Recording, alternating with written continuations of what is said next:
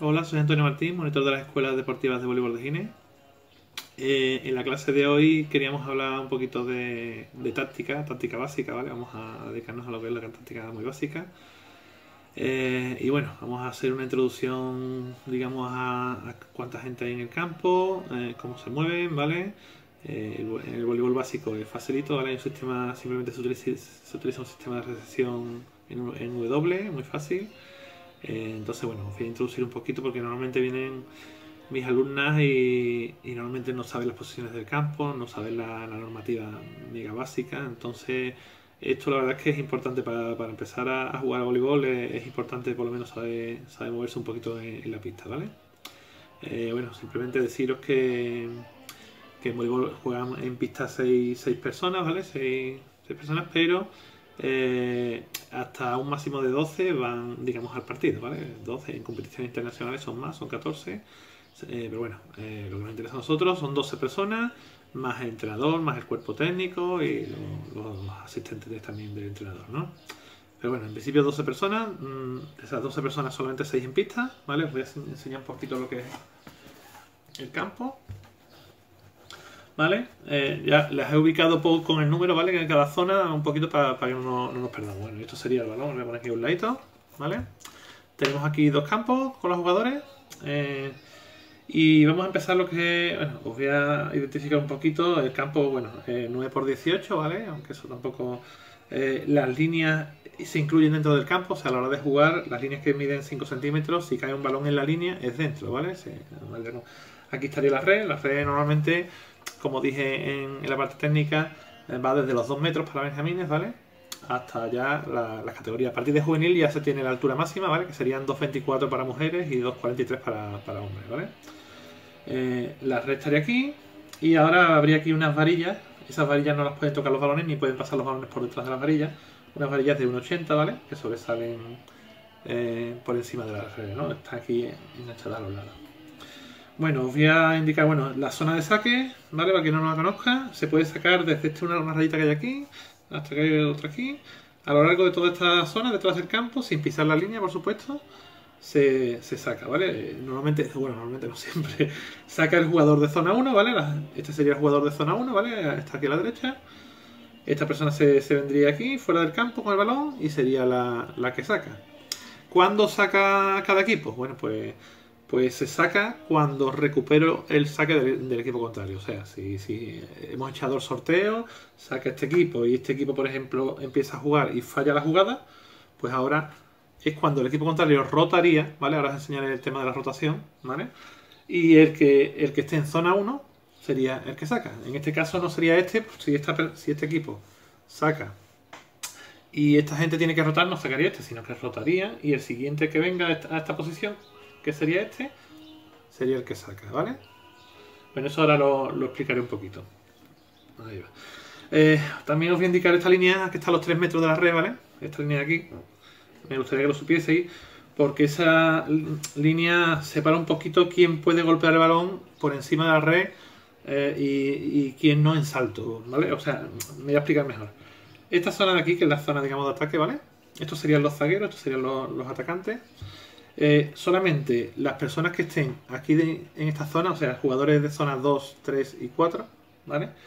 Tienen derecho a saltar en esta zona del campo y golpear el balón por encima de la red. Por debajo de la red no hay problema, pero por encima de la red, si alguien salta y golpea, como alguien de, los de atrás, de los zagueros, vengan aquí, salten aquí y golpeen el balón por encima de la red, sería falta automáticamente, ¿vale? Así que está para delimitar. Y veréis también aquí que hay unas extensiones, ¿vale? De, de esa línea y esas extensiones, a ver si se ve bien, lo voy a poner un poquito más cerca. Esas extensiones de la línea son porque antiguamente, claro, dijeron, no se puede saltar mm, aquí en el campo, los zagueros. Pues ellos eran muy inteligentes y hacían esto, venían por aquí fuera y remataban desde aquí, ¿vale? Entonces era la forma de buscar la trampa, entonces ya lo modificaron en el reglamento y ya automáticamente no se puede saltar, los zagueros no pueden saltar, porque si, a lo mejor el atacante principal es, zaguero, pues es una forma de, de alejarlo de la red, ¿ok?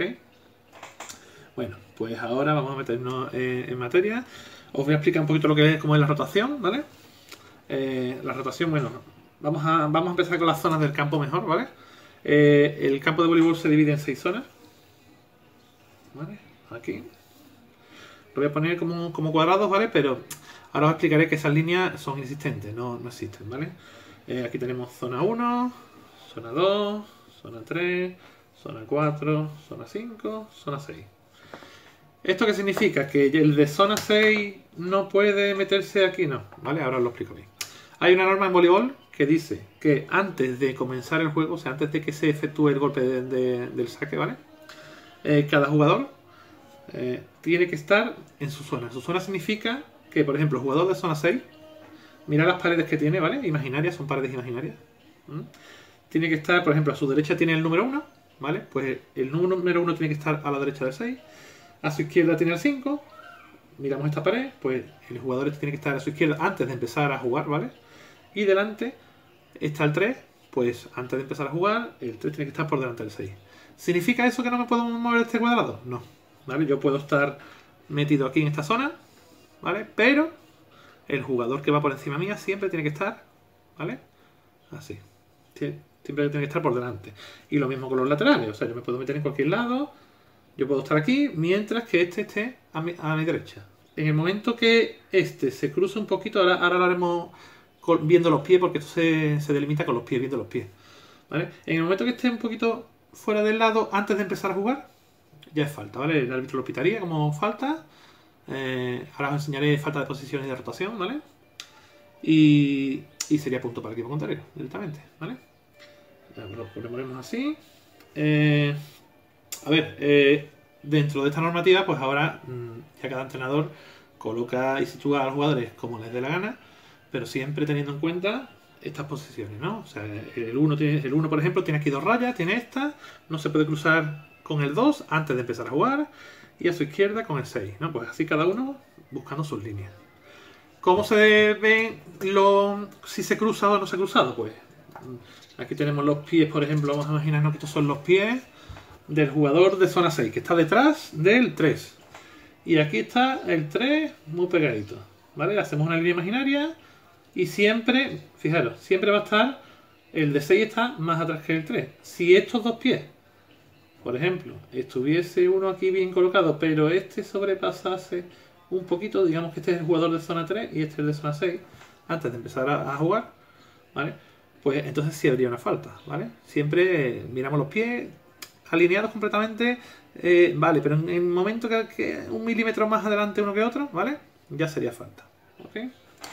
Bueno, pues vamos a borrar esto un poquito. Entonces, esto al principio cuesta mucho cogerlo. O sea, esto dice la gente, bueno, ¿para qué sirve? Ya después, conforme vayamos jugando, vamos viendo un poquito para, qué sirve todo esto, ¿vale? Eh, tema de rotación. Eh, yo hemos dicho que, rotamos cuando el equipo, el equipo contrario está sacando, cuando le ganamos el punto, ¿vale? Recuperamos el saque y ganamos el punto, por supuesto. Antiguamente no, antiguamente solamente recuperábamos el saque y teníamos derecho a sacar sin meter puntos. Pero bueno, la, normativa ha cambiado para, que sea el juego más rápido, ¿vale? Así que simplemente lo que hacemos ahora es que eso, el equipo contrario, por ejemplo, ha sacado, eh, han fallado el punto y ahora rotamos. Ahora lo que hacemos es eh, el sentido de la rotación va así, ¿vale? lo señalo con flecha. Aquí. Va en el sentido de las agujas del reloj. Aquí. ¿Vale? Así. Los números irían en sentido contrario a las agujas de reloj, ¿vale? 1, 2, 3, 4, 5, 6. Y la rotación va en el sentido de las agujas de reloj. Entonces, este que era zona 1, cambio, pasaría aquí, aquí, aquí, aquí, aquí y aquí. ¿Quién sacaría? El que era ante 2, ¿vale? Pues sacaría ahora, sería jugador de zona 1, ¿vale? Y sería el que saca. ¿Vale? Bueno, vamos ahora con con la falta de posición y rotación, ¿vale? Que normalmente muchas veces se confunden unas con otras. Eh, como hemos dicho, la rotación, vamos a pintar otra vez aquí, ¿vale? Es que he borrado yo el sentido de la rotación. Aquí. Eh, el árbitro pita, hemos ganado el saque y nosotros por lo que sea, porque una vez que, comienza el juego nosotros podemos variar los jugadores, los jugadores no, sé si lo he dicho, los jugadores ya se pueden cruzar entre ellos como les dé la gana, o sea, eso de las posiciones antes del saque, ¿vale? Después, una vez que ya se ha sacado, ya cada uno mm, se pone donde quiera, ¿no? Donde, donde, digamos, tácticamente tenga que estar, ¿no? Eh, Eh, ya si somos más especializados, pues eh, habremos hecho 10.000 cambios ahí. Entonces después, a la hora de rotar, tenemos que volver a nuestra posición inicial, que muchas veces eso se olvida. Entonces, eh, imaginaros que el número 2, le voy a poner aquí un color amarillo para que se vea, ¿vale? Es el colocador. Hemos empezado, si estabais jugando, y ahora durante la partida ha terminado aquí, por ejemplo, colocando, ¿no? Una posición básica de colocador en zona 3. Y ahora tenemos que rotar. Muchas veces se nos olvida y, esta persona se cree que está en zona 2 cuando es el colocador el que tendría que estar y va a rota mal, ¿vale? Digamos que, que, rota y se pone en posición de saque cuando debería ser el, el que saca, que estaba aquí en un principio, el que rota hacia acá. Entonces esa falta de rotación, ¿vale? Es lo que pita, si nosotros rotamos mal, ¿vale? Eh, eso lo pita el árbitro, ¿vale? Y nos penaliza con, con un punto. Ya otra cosa es la falta de posición. Falta de posición es, por ejemplo, si estamos así, y, por ejemplo, eh, este que tiene que estar por delante del 6 se pone aquí detrás, ¿vale? Eh, ahí estaría la falta de posesión. Entonces, eh, ya ahí el árbitro pitaría igual. el castigo es el mismo en posición de rotación, ¿vale? Pero sería el posicionamiento en el campo a la hora de, de comenzar la jugada, ¿vale? Bueno. Y ahora vamos a ir con la fase del juego, ¿vale? Fase del juego. A ver cómo os explico yo la fase del juego. Voy a poner este otra vez de rojo. Eh, si un equipo saca, ¿vale? Si un equipo, por ejemplo, este equipo saca, vamos a poner aquí el saque. Eh, las dos principales fases del juego que se trabajan mucho son el K1 y el K2. Eso se entrena muchísimo, ¿vale? En los entrenamientos. Eh, K1, vamos a, separar un poquito lo que es recepción de defensa. Cuando yo, cuando, cuando este equipo va, va, va a recibir este balón, ¿vale? El balón de saque se llama recepción, ¿vale? Y, cuando este equipo ya va a recibir, no es recepción, es defensa, va a defender el balón, ¿vale? O sea, este sistema de juego en el que tienen que, recibir la pelota de saque se llamaría cada uno, ¿vale? Los movimientos que hacen, o sea, viene el balón de saque, ¿qué movimientos haría? Tienen tres toques. Pues el primero, por supuesto, sería mm, recepción, ¿vale? Lo que mm, frenar la pelota. Después iría la colocación, ¿vale? El, colocador que, tenga en el campo la colocaría. Y por último, la fase de ataque, ¿vale? Que sería el remate. Esto le llamamos K1. O sea, yo digo un entrenamiento, vamos a practicar K1. Y ya saben que se tienen que poner eh, como, como, cuando vamos a... O sea, perdón, me estoy liando. cuando vamos a, recibir un saque, pues nuestra posición, nuestro sistema de juego, perdón, no me sale la palabra, sistema de juego, eh, nos tenemos que poner para recibir el saque. Esta parte, sin embargo, a esta gente, si yo les digo vamos a trabajar el K2, a lo mejor no, no, se hace igual eh, que el K1. En los inicios, en la, en la, que voy a explicar, el sistema que voy a explicar hoy, eh, es igual, ¿vale? Es muy, muy básico, pero ya conforme vamos avanzando, a lo mejor esta gente, eh, esta gente no han bloqueado, pues primero porque no se puede bloquear el saque, ¿vale? Pero en esta fase sí hay bloqueo ya. En esta fase lo que va a variar una de otras es que hay bloqueo. Si hay un bloqueo simple, por ejemplo, bloquearía el, el mismo colocador, ¿vale? Pero si ya es avanzado, pues podría haber un bloqueo doble, incluso triple. Y aquí varía la forma de, defender. Entonces vamos a llamarle K1 a recepción, colocación y ataque. Y K2 al bloqueo, lo que es la defensa del balón, ¿vale? Y ya después la vuelta del balón al colocador para, realizar el contraataque. ¿Ok? Venga, pues vamos con los sistemas de juego, ¿vale? Eh, este es el más fácil. Eh, dos colocadores, ¿vale? Se llama sistema 4-2, significa que cuatro jugadores, los he puesto en rojo, ¿vale? Para que se vea más claramente, además he puesto las zonas del campo, un poquito para que las veamos. Eh, cuatro jugadores se dedican a, bueno, por supuesto todos reciben y tal, pero en lo que es ataque, ¿vale? Lo hacen los jugadores de rojo y ellos dos colocan, ¿vale? Eh, ¿Qué conseguimos con este sistema? Mm, bueno, en principio tenemos dos colocadores, ¿vale? Eh, recibimos nosotros, bueno, podemos recibir, eh, hay mil maneras, ¿vale? Sistemas hay los más grandes, pero bueno, voy a explicar lo que, me voy a encaminar un poquito a, lo que yo doy en, en, voleibol, ¿vale? Con mis alumnas de, inicio, ¿vale? Y serían cuatro, cuatro atacantes y dos colocadoras. Entonces, este sistema lo que permite es que eh, siempre voy a tener una colocadora delante. La colocadora normalmente en los inicios coloca desde zona 3, o sea, colocaría aquí. ¿Vale? Eh, colocaría aquí, tenemos ataque por zona 2, ¿vale? Que es esta, por zona 4, y la colocadora se situaría en zona 3. Ahora mismo mm, no, podría ponerse la jugadora, porque sería, como ya sabéis, falta de, posición, como he explicado antes. Entonces nuestro sistema de recepción sería una W, ¿vale? Eh, fijaros, esto sería una W normal, ¿vale? Ahí. Y esto aquí. Pero con este sistema en W mm, tenemos un error. Y sería que la colocadora de delante está recibiendo. Si yo recibo el primer toque, no puedo colocar con el segundo. Entonces, esta jugadora lo que hacemos normalmente es la escondemos. Fijaros que está a la izquierda del 3. Vamos a poner la línea por aquí. Debe de estar siempre a la izquierda del 3. Entonces, nosotros jugando lo que hacemos es que la escondemos. Y el 3 ocupa su sitio. Siempre manteniendo que la jugadora esté a su izquierda. Si no sería falta, falta de posición. Simplemente jugamos con, con las normas, ¿vale? Jugamos con las normas. Lo que hacemos es que el jugador de aquí, que no es el colocador, se viene para acá a recibir. Y ya tenemos una colocadora de las de delante, ¿vale? Que en el momento que se que saque el equipo contrario, pues rápidamente ir aquí y ya jugaremos, fijaros. Le llama sistema W, yo creo que está claro, ¿no? Eh, tenemos la colocadora, los de delante, los que pueden saltar delante, por supuesto, que son la colocadora más ellos dos, son los que rematan, ¿vale? Por ejemplo, esta zona y esta zona, ¿vale? Zona 2 y zona 4. Y esto sería recepción a los 5 de atrás. La colocadora que vendría corriendo para colocar. Y después el ataque sería por zona 2 o 4. ¿vale? Este es un sistema de recepción básico. Eh, después el equipo contrario, eh, en, los inicios, simplemente el colocador que, que, que normalmente coloca en 3 eh, los demás, digamos que también defienden en W. O sea, defienden en W, lo que es el K2, ¿no? Eh, w y solamente saldría el bloqueo lo que es la colocadora. Si la colocadora, por ejemplo, es una persona muy bajita y tenemos ya cierta, mm, cierto nivel de movimiento, pues muchas veces lo que hace es que la colocadora, en vez de colocarse en zona 3, se colocaría en zona 2 y los ataques serían por el centro y por aquí.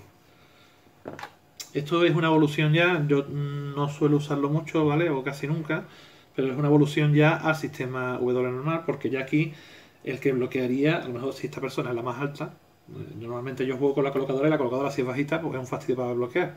Aquí ya no, aquí ya hemos evolucionado un poquito y tenemos en el centro una persona que es altita. ¿Qué pasa? Que la colocadora tiene que tener fuerza para colocar desde zona 2 a zona 4. Eso hay que, hay que encontrarlo, ¿vale? Eso hay que trabajarlo y, cuesta. Entonces, digamos que es una evolución, es, subir un peldaño más, ¿vale? Eh, bueno, vamos a dejarlo como estaba al principio. Nosotros hablamos, yo hablo de diagonales, cuando coloco a la gente hablo de diagonales, por ejemplo. Mm, a ver, así, así, así. Eh, las colocadoras van en diagonal, ¿vale? De una esquina a otra. Ellos en diagonal y ellos en diagonal. ¿Para qué sirven esas diagonales? Pues esta diagonal de colocadora sirve para que mientras, si una rota aquí, la otra rota aquí, siempre tengo una colocadora delante. Si esta rota aquí, esta rota aquí, tengo una delante. Si esta se va para atrás, ya tengo una colocadora aquí delante. O sea, se ponen en diagonal simplemente para tener siempre una colocadora en, zona, ¿vale? Eh, en la zona de delante y, así poder tener un ataque, digamos, más rápido, ¿no? Reciben el resto de jugadores, la colocadora se esconde, ¿vale? Eh, voy a poner rápidamente donde se esconde siempre. Como hemos dicho, formamos la W. Vamos a ver. W. Así. Que se vea un poquito. Eh, si la colocadora de delante, por supuesto, no quiero que reciba, ya sabéis lo que hacemos. La escondemos y viene esta persona aquí a defenderla. Si la colocadora estuviese en este lado, pues lo mismo, ¿vale? O sea, estaría en este lado. Uh, a ver, perdón. Esto aquí. Así, así. A ver. Aquí.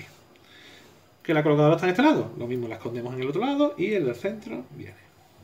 Y si la colocadora tenemos la suerte de que está en medio, pues ya no hace falta esconderla, sino que directamente se queda se queda ahí, ¿vale? Esto iría así. Eh, pues básicamente este sería el sistema de recesión, ¿vale? El K1 y, el K2 sería lo mismo, pero simplemente o esta persona o la que nosotros designemos iría, iría al bloqueo. Normalmente en inicio se bloquea con un solo... El bloqueo no tiene tanta importancia porque no suelen llegar a la red, se, le presta más importancia a lo que es el sistema defensivo, ¿vale? Eh, aquí detrás también podemos hacer cambios. O sea, si a mí, por ejemplo, si la colocadora está... Las dos colocadoras a lo mejor son las que más se mueven por, lo que sea, ¿no? Ya esto dependiendo de las características de cada jugadora. Si ella se ha cambiado aquí para rematar, y aquí tengo esta persona, pero esta persona, por ejemplo, no se mueve, pues una vez que se saque ya cada uno se puede mover donde le da la gana. Entonces, recibiríamos a lo mejor así, porque cruzarse durante mientras viene el balón, eh, al final no recibimos bien. Pero una vez que recibamos el balón vaya a la colocadora, aquí puedo hacer los cambios que a mí me interesen. Entonces, si esta persona se mueve más que esta, simplemente las cambio y esta persona, que es la que ocupa, abarca más espacio, ¿vale? En el terreno de juego, me defendería todo el centro del campo. Normalmente mis jugadoras más buenecitas las suelo meter en, el centro del campo porque eh, balones cortitos que me manden aquí, fintitas, eh, suele cubrir lo que es la, mayor zona de, campo posible, ¿vale? Esto sería lo que es el sistema 4.2, es el básico que nosotros hacemos en, las escuelas de inicio, ¿vale? Eh, y os voy a comentar ahora los otros sistemas, pero bueno, los veremos ya para, para tácticas un poquito más avanzadas. Bueno, os voy a hablar un poquito de, de los otros dos sistemas básicos, ¿vale? He puesto otra vez esto en W. Eh, hemos hablado del sistema 4.2, que es el que he desarrollado un poquito, ¿vale? Simplemente cuatro rematadores, dos colocadoras. Ahora vendría el 6.2. 6.2 no significa que tengamos más jugadores en campo, sino que los jugadores hacen otras funciones. Por ejemplo, eh, las dos colocadoras en el sistema 6.2, eh, aparte de, colocar, atacan. ¿Cómo se consigue eso? Pues la jugadora que está detrás es la colocadora antigua. En el sistema anterior ella era la colocadora, teníamos dos atacantes, ¿vale? En este sistema la colocadora detrás es la que sube a colocar y conseguimos tener ataque por tres zonas. ¿Vale? Aumenta lo que es el nivel de ataque, ¿vale? Pero para esto ya es un salto muy grande porque ya empezamos a especializar jugadores, ¿vale? Muchísimo más. Antes, bueno, las colocadoras, desde luego. A mí me gusta que todas mis alumnas sepan hacer de todo. Pero ya dando este paso, eh, hay que ir especializando un poquito. Entonces, yo normalmente estos pasos los voy dando ya cadete juvenil, tirando para el juvenil, ¿vale? Eh, me gusta a mí hacer estos cambios. Aquí lo que conseguimos es que esta colocadora no puede saltar aquí. Recordad que los zagueros no pueden saltar y golpear el balón por encima de la red pero por supuesto si puede venir, colocar y después hacer otra función aquí atrás. Ese sistema lo haremos ya con táctica avanzada, ¿vale? no quiero complicaros mucho, pero simplemente lo que conseguimos es que la colocadora de atrás es la que coloca, conseguimos tener un tercer atacante, ¿vale? Tenemos tres, posibilidades de ataque. Entonces, claro, ya empezamos a especializar eh, a todos los jugadores. Y ya el sistema último, voy a ponerlo aquí, a ver, sería un 5-1. Yo suelo rondar entre estos dos sistemas para juveniles y seniors. Eh, suelo rondar estos dos, estos, estos dos sistemas. Eh, normalmente es el 5-1 el que utilizo, ¿vale? Solamente una colocadora. Pero sí es verdad que cuando jugamos con equipos muy complejos que saben dónde está la colocadora, porque las tácticas ya las conocemos más o menos todos los entrenadores así de, niveles ya en comunidad, eh, conocemos los sistemas, entonces si yo por ejemplo la colocadora sé que va a estar aquí, el equipo contrario me la intenta buscar mucho. Yo he tenido que modificar el sistema de juego. Eh, a lo mejor la, la que está em, en diagonal con la colocadora es la opuesta, ¿vale? El próximo día explicaré sus características. Pero a lo mejor la opuesta no sabe colocar igual que una colocadora. Tiene, tiene funciones de, ayuda de colocación, pero a lo mejor no sabe. Entonces muchas veces he tenido que modificar el sistema de juego y meter una segunda colocadora porque a esta me la estaban buscando boom, boom, boom, boom y perdíamos muchos puntos. Y de, esto saben mucho mis, mis alumnas que este año nos hemos visto con dos o tres equipos que, que nos, martirizaban con ese sistema de juego, ¿vale? Eh, bueno, el sistema este sería es un 5-1, solamente una colocadora, ¿vale? Eh, ¿Qué pasa? Cuando está la colocadora detrás, en esta posición esta o esta, pues ella entra, coloca, tenemos tres ataques. Sin embargo, sin embargo, cuando, cuando la colocadora está delante, ¿vale? Eh, por cierto, no lo he dicho, la colocadora cuando es zaguera normalmente coloca entre zona 2-3, ¿vale? Aquí. Está la zona 2, está la zona 3, pues normalmente coloca en zona 2-3. Eh, está determinado así un poquito porque a estas personas les viene mejor el balón. Cuando ella coloca desde aquí les viene mejor la pelota. y eso está estudiado. Bueno, zona 2-3 normalmente es donde coloca, ¿vale? Cuando la colocadora está delante, eh, tenemos dos ataques solamente, pero normalmente esto lo suplimos con alguna persona de atrás también que ataque. Entonces, si tenemos una persona alta que sea coordinada y pueda hacer un remate sin pisar la línea de 3 metros, ¿vale? Antes, pues a lo mejor tenemos esta zona de ataque, esta zona de ataque y a lo mejor esta persona me puede rematar por aquí, ¿vale? Saltando desde aquí. ¿Ok? Ya eso eh, se trabaja, ¿vale? Desde luego mi... yo todavía no estoy trabajando mucho porque esto ya requiere un nivel altito de juego. Yo lo suelo usar, este año hemos empezado a usarlo, la, la senior, ¿vale? Pero bueno, ya estamos hablando de sistemas de, de ataque más complejos, ¿vale? Ya el próximo día haremos un repasito de, de todos los sistemas así más complejitos y explicaré un poquito las posiciones del campo y tal, ¿vale? Esto vamos a dejarlo porque es más avanzado. Y bueno, eso sería más o menos la táctica básica, ¿vale? Nosotros jugamos eso, sistema de recesión W, eh, dos colocadoras, ¿vale? Eh, a mí me gusta que todas mis, mis jugadoras hasta cadete sepan colocar, sepan rematar, entonces no las suelo especializar demasiado, aunque después a la hora de jugar un partido, pues a la que le gusta colocar más o, tiene más, más cualidades, se busca que juegue más en esa posición, pero bueno, me gusta que, sepan hacer un poquito de todo, ¿vale? Bueno, pues un saludo y, y, el próximo día veremos tácticas, digamos, más avanzadas ya. Espero que mis alumnas lo sigan también para recordar un poquito que después se nos olvida. Hasta ahora, un saludo.